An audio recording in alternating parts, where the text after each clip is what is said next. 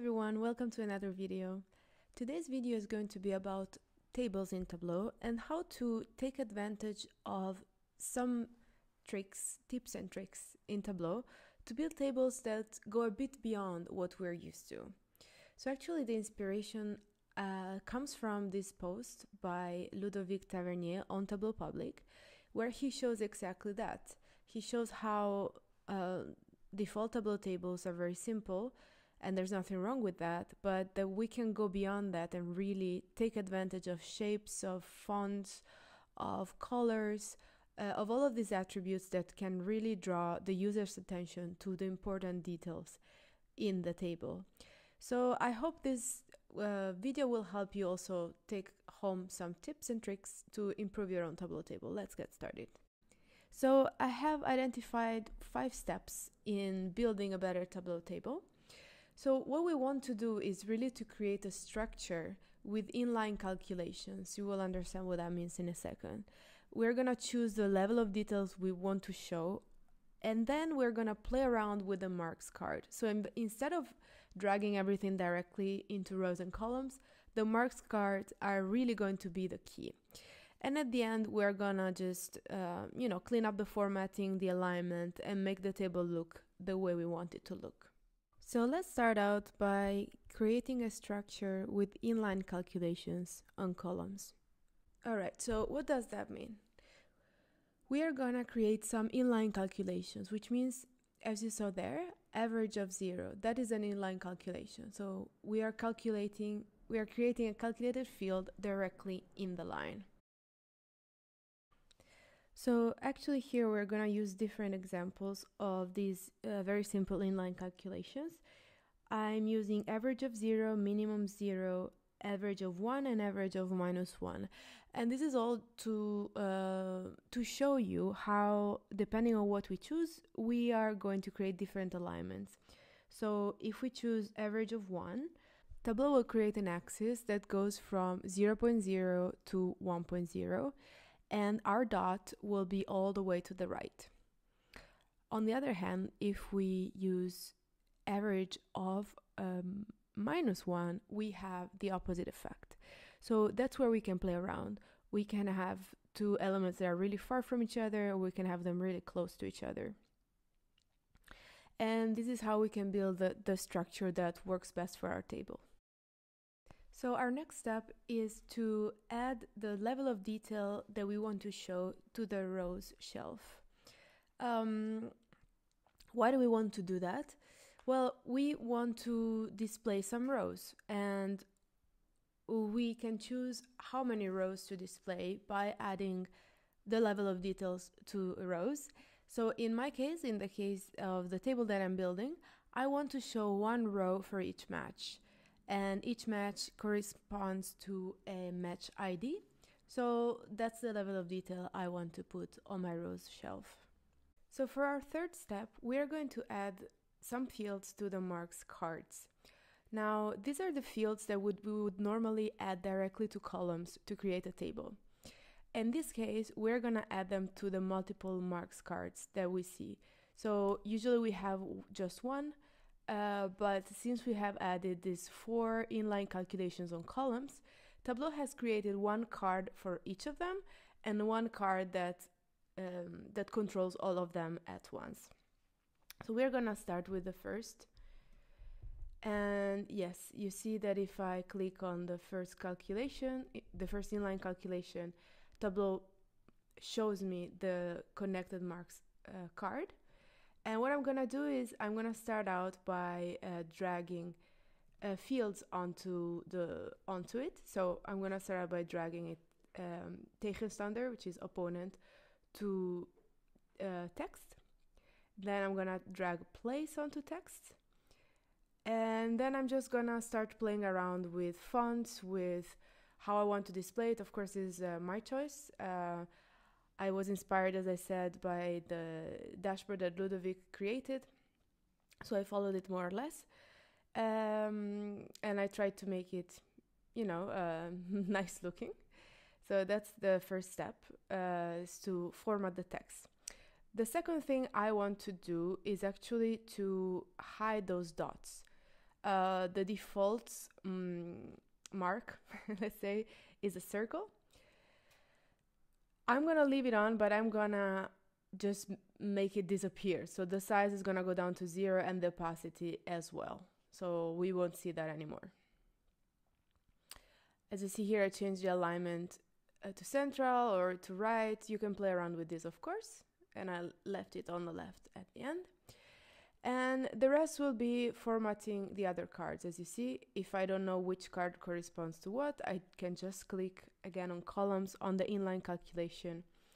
And then again, I will start dragging and dropping the fields. I'm gonna show you a bit more of how I did it so you get an idea. But again, I dragged dates onto text. Um, I also dragged time. And then I did more or less the same formatting as for the first column. Again, hiding the dot by bringing the size and the opacity down to zero.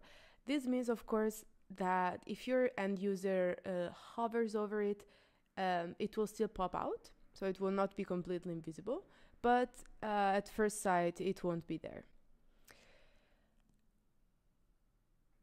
Now you see me uh, play around a bit with the other two columns with their alignment until I'm happy with what I have.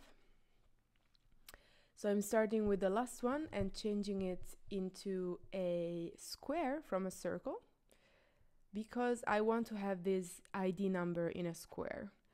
So I'm just dragging the ID number on text, uh, making it centered, changing color according to which palette, which colors I want to use. And then I'm using the other field. As you see, I'm actually adding an inline calculation with text directly into the card. That is also possible. Uh, because I didn't have any field called match number, so I am creating it. And again, size down to zero, opacity down to zero. Alright, I'd like to add an extra tip here, and that is to use measure values to create some oval labels. So here's how you do it. So we go to the data pane and we drag measure values onto columns, just like that. And this will allow us to have multiple values onto one. In this case, we have average of zero and average of minus five. And this basically adds two dots onto the same axis. So you see we have two dots, two blue dots over there one and two. So the next thing to do is to go to the marks card and change from circle to line. So the line at first will be vertical and all we need to do is to drag measure names onto path.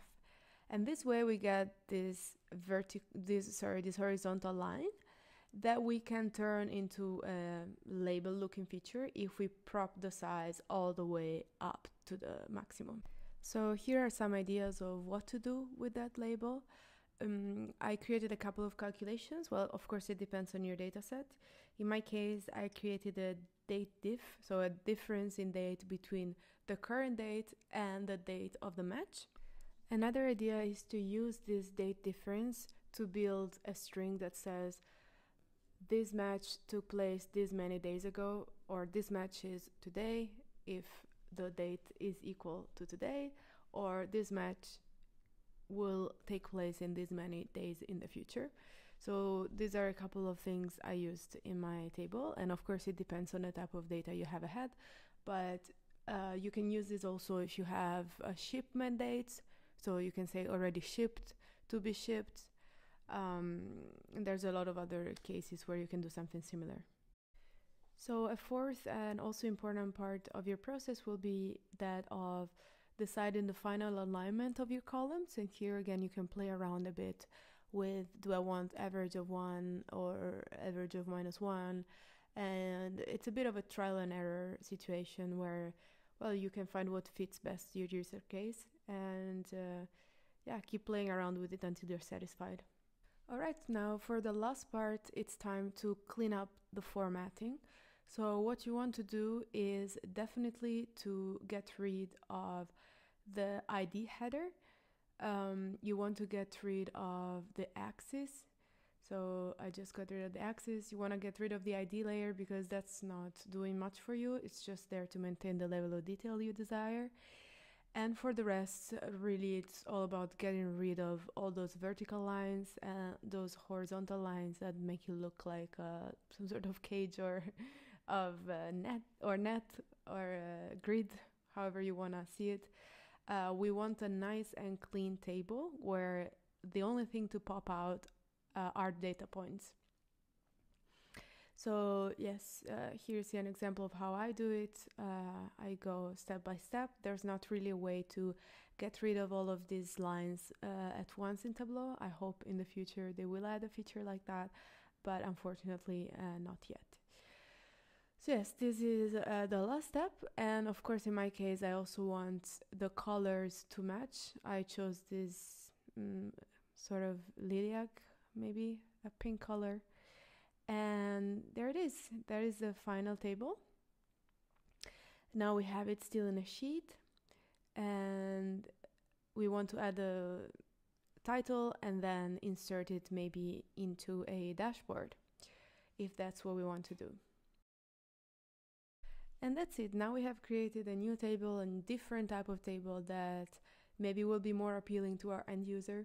And it can also be a nice way to help users transition from the Excel mentality, the spreadsheet mentality, and start seeing the value of Tableau, what Tableau can add. Uh, so maybe if you have a if you have users that are particularly stubborn in wanting only tables, this can be a first step for them to move a bit forward and yeah, start using the nice features that Tableau has to offer. Thank you for watching this video and see you next month.